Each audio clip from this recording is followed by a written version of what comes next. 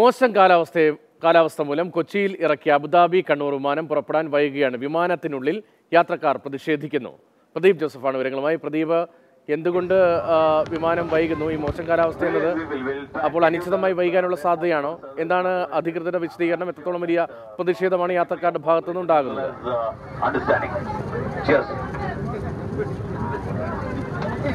Thank. Uh, gentlemen, what do you want wanted? Mark on the face. We will, we will, we'll try and get you the uh, best possible service, whatever it is. I'm, I'm sure that, uh, uh, thank you for your cooperation as well as uh, understanding. Pradeep എപ്പോൾ പുറപ്പെടാൻ കഴിയും എന്ന് യാത്രക്കാർക്ക് ഉറപ്പ് നൽകുന്നുണ്ടോ Thank you.